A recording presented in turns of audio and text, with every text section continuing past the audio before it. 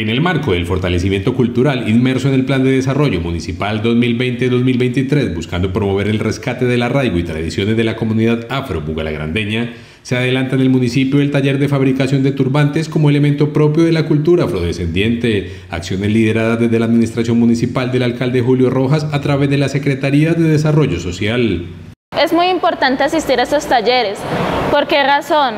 Porque no solamente vamos a ver el turbante como un accesorio, sino que en realidad vamos a tomar conciencia de toda la carga cultural y también histórica que conlleva usarlo. Entonces, al tenerlos puestos, vamos a saber el mensaje que estamos transmitiendo. Los talleres en los que junto a la administración municipal participa la asociación ASO Afrofol se adelantan en Ceilán, Galicia, El Overo, Mestizal, Guayabo, San Antonio y Uribe, además de la zona urbana, incluyen materiales e historia de este elemento. En Grande hay 250 personas censadas y autorreconocidas como parte de esta comunidad. Queremos visibilizar nuestra cultura mediante saberes ancestrales, ¿sí? enviando un mensaje de resistencia, también de libertad y que muchas personas se autorreconozcan.